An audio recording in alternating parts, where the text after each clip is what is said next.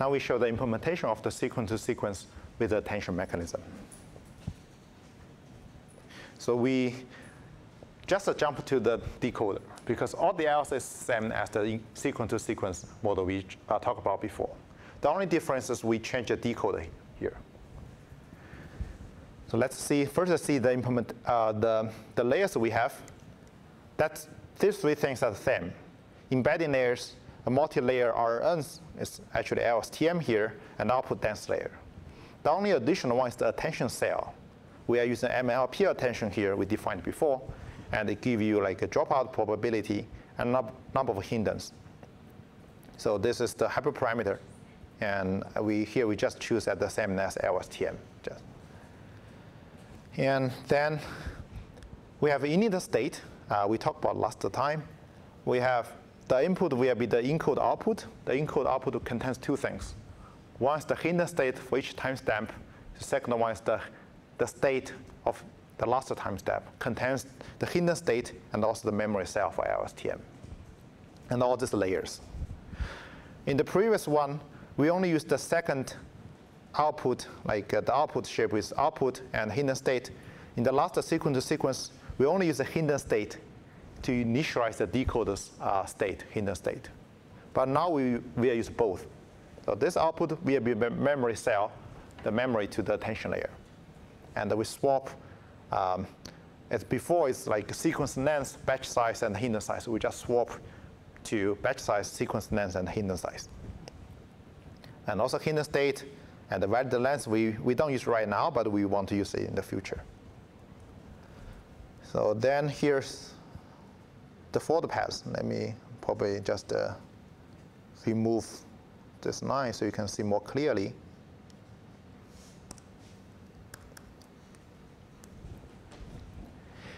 Now we need to do one by one. It's, we, uh, if from scratch, we don't have a single thing to take all of them together because it's like sequential stage.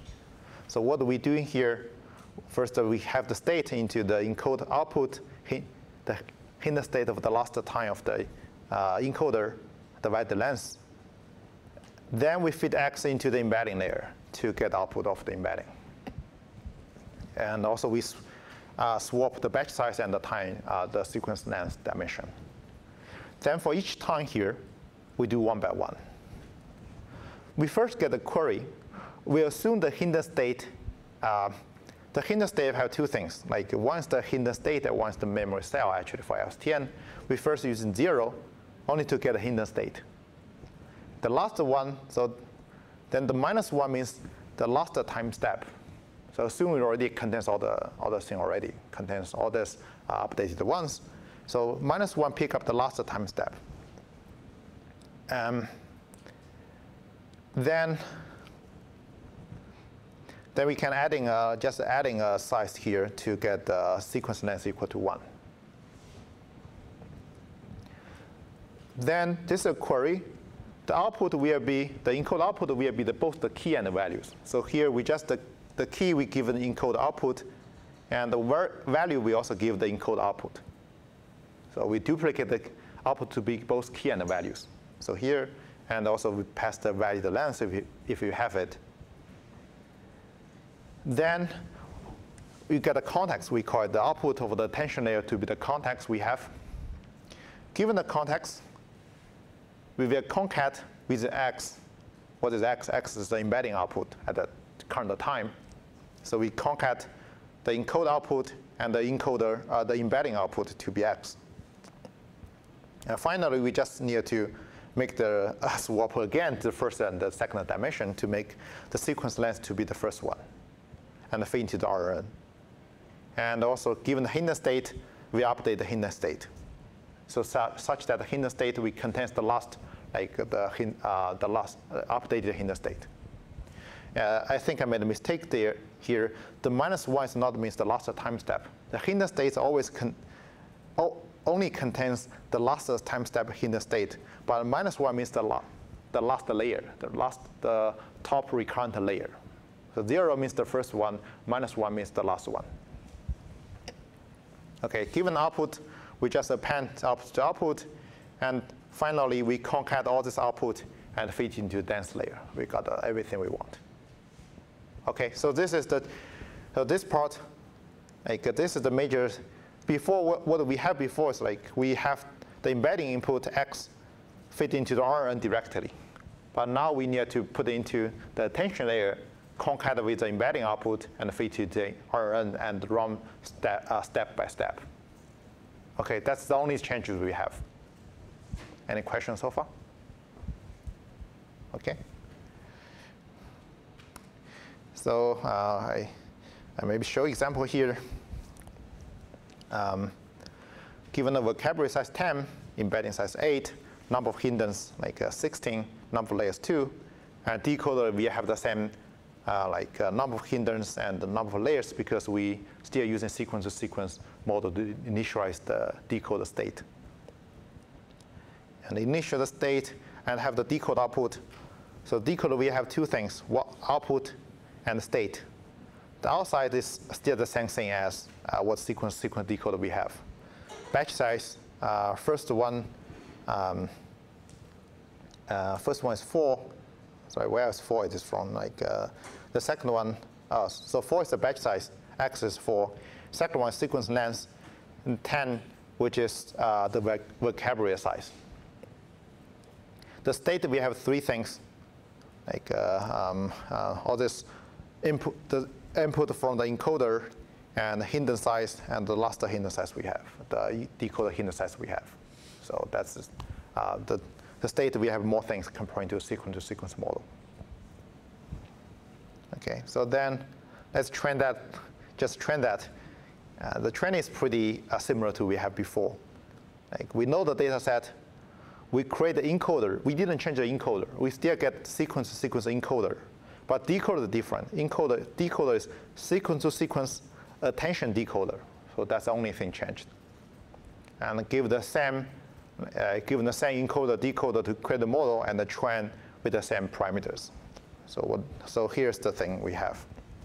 So let's compare actually what we have sequence-to-sequence -sequence model before. Let's see how, if we make any change.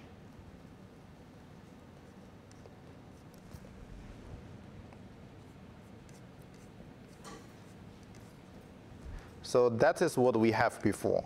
Let me just copy it into the sequence-to-sequence attention. Uh, I just maybe copy it here. I can compare the results. Uh, okay, so this is from sequence to sequence before. This is with attention. Nothing has been changed, only adding attention layer. Firstly, you can see that, well, it's much slower, which, um, so before it takes 10 seconds, now we take 34 seconds. We have two reasons here. Firstly, uh, the attention layer adding a little bit um, complexities here. The second one, because before we just put the whole X into, the, um, into a single layer. The layer implemented by C++, it have a C++ for loop to do everything.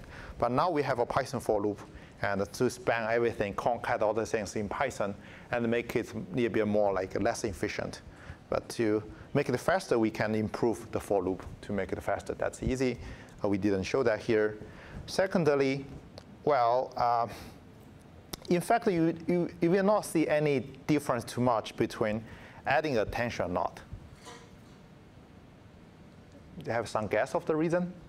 So for example, epoch, epoch like 200 the loss is here 0.032, and even this one is actually high, uh, have lower loss for the normal sequence-to-sequence model.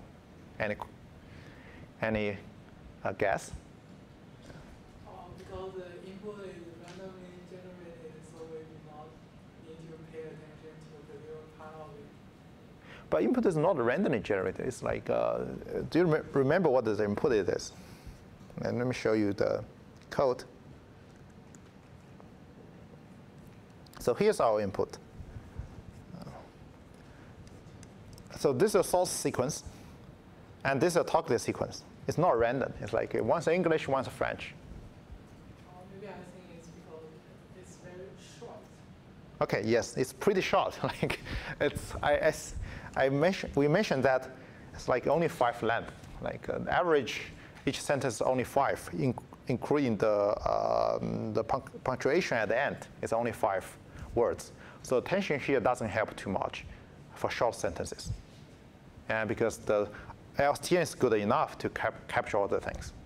But tension will be very helpful if you have a little bit longer. This is a very simplified data set, but uh, you don't you don't need to translate so long sentences. Usually, you do machine translation, usually pay more like longer sentences. Okay, so that is make, because of the simplified data set, make the thing doesn't change too much.